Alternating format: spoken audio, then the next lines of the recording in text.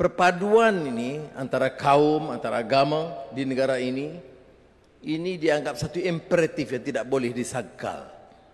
Kenyataan politik sedemikian rupa. Dan dalam sejarah, sama di Malaysia dan mana-mana negara lain, coalition atau kerajaan campuran atau perpaduan bukan satu hal yang mudah. Dia dianggap sekali selalunya mudah dirungkai, mungkin berpecah. Hanya dalam negara kita ini, pengalaman Barisan Nasional ini dipimpin oleh AMNO yang dapat teguh sejak perikatan dan kekuatan induk BN AMNO MCA dan MIC. Pakatan Harapan sendiri yang saya taja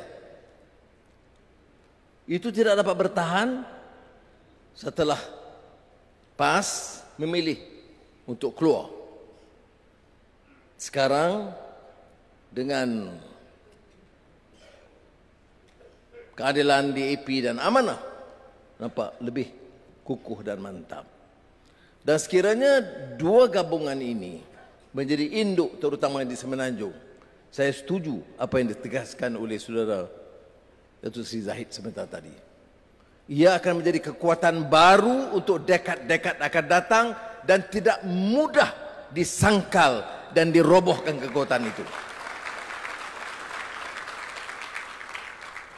Dan kita juga bernasib baik. Rakan kita di Sarawak GPS merupakan rakan yang sangat setia dan komited untuk menjalin hubungan dan membina kekuatan. Sejak mereka bersama dengan kerajaan perpaduan, semua usaha dan langkah. Langkah-langkah yang banyak.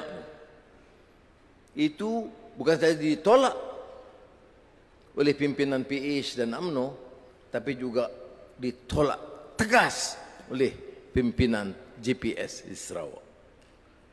GRS dan rakan-rakan sekutu di Sabah ikut tren yang sama dan saya yakin dalam perbincangan saya dengan Datuk Sri Zahid dengan pimpinan dan jemaah menteri, kita tidak pernah anggap ini sebagai suatu masalah.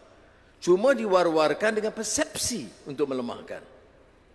Kerana apalagi harapan dan kekuatan pembangkang selain memberikan harapan agar akan berlaku perubahan.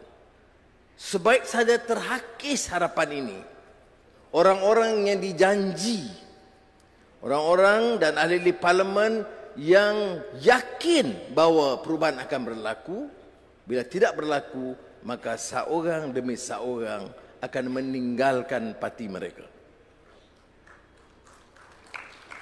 Dan dengan penegasan Kebahaduli Yang Maha Mulia yang Dipertuan Agung malam tadi,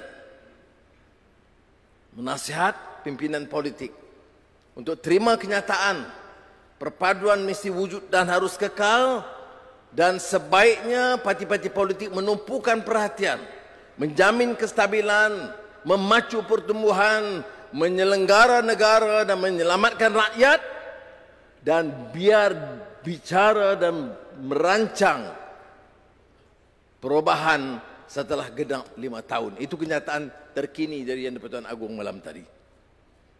Dan saya percaya bahawa Duli Yang Maha Mulia Tuanku Sultan Johor yang akan menjadi Yang Dipertuan Agung mulai 31 bulan ini.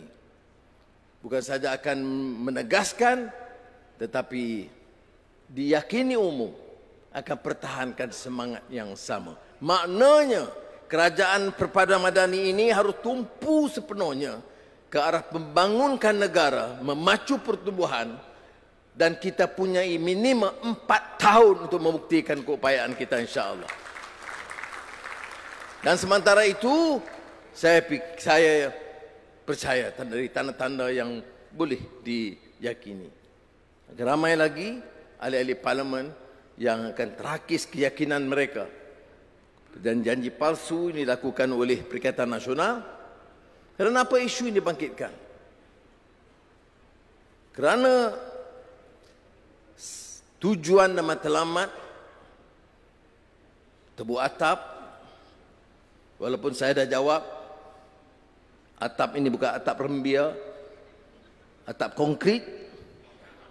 Dia coba, dia coba gagal di Malaysia, dia berpindah ke Dubai dan London. Dia lupa bahawa di Dubai dan di London itu konkritnya itu lebih lebih jauh lebih tebal.